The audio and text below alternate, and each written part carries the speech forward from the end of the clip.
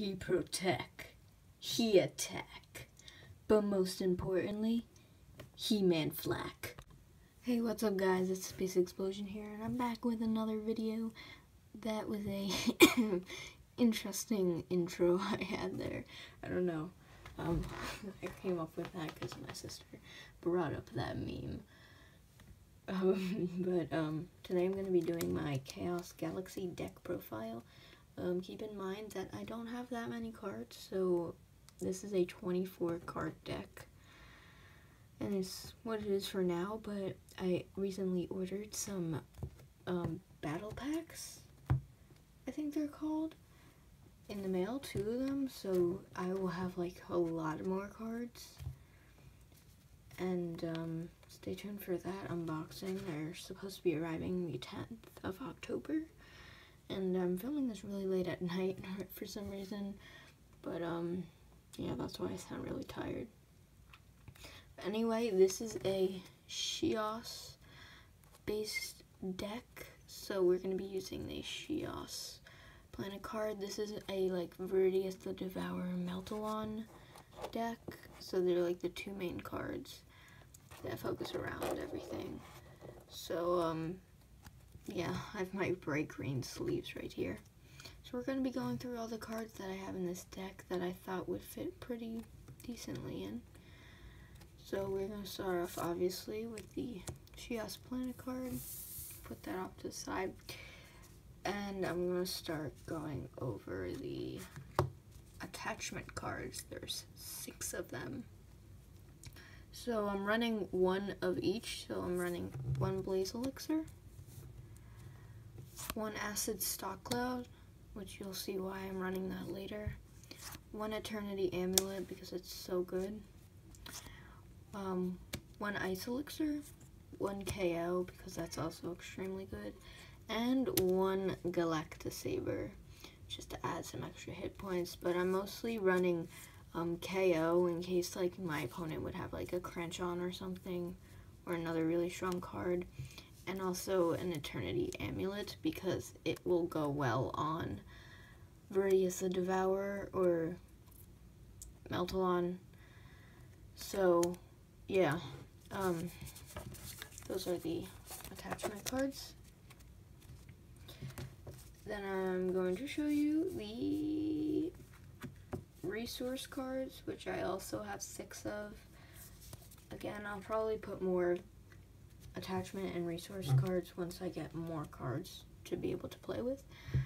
And um, I didn't want to add all the cards I had into this deck because then I would have nothing to play against. So again, I'm running one of each of these. So I'm running one Slush Infestation because it's just really, really good. Um, one Galaxy's Gift, one Resource Conjurer, one point, one bullite comet, and of course you need to have a galaxy crash because it's just needed in very emergency oh, emergencies. So it's always good to have a galaxy crash in your deck just in case.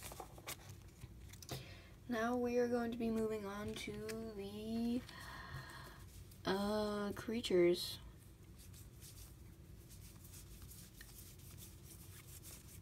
There's 12 of them, I think, in this deck. So, um, I'm running two Spark Eyes just because there's some high amount of star cards, creatures in my deck, so I'm going to need to balance them out in case I need to just throw a creature out on the field. I'm also running two Seed Blasters because Seed Blaster is just really good with um, Acid Stock Cloud, which is pretty much what it's meant for. Um, Seed Blaster says, when this creature is killed by, it, by a battle, all creatures in your opponent's battle zones become Gaia's creatures. And then Acid Stock Cloud says, attach only to a Gaia's creature. Every time the attached creature owner's turn begins, they lose two points. So while you're also having like the main Viridius the Devourer and Meltalon like just chopping away at your opponent with points, you're also getting rid of your opponent's points at the same time. So you're getting a huge advantage. So this combination will be really good when I get to set up, have a good game, and play against someone that knows what they're doing because my sister's not a great example of that. I still have to teach her. But yeah, I'm running two Spark Eyes and two Seed Blasters. I'm running one Orboff, one Kronk, one Bold Whip, one Bob 2699. We're getting into the four main cards of this deck. My boy Manflacky, who was featured in that meme before. Um, and then, or the three main cards of the set. We have Drangel, the most powerful common creature.